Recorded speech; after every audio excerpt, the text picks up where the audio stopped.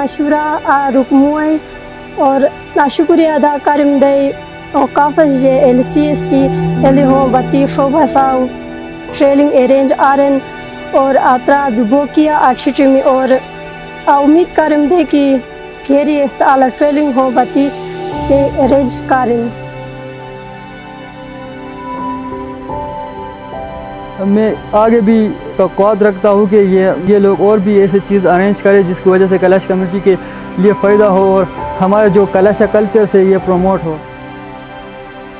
मैं थैंकफुल हूँ minority affairs department का और लाइजोन का और मैं उम्मीद करता हूँ कि इस तरह के और भी सेक्शंस हमारे लिए अरेंज किए जाएँ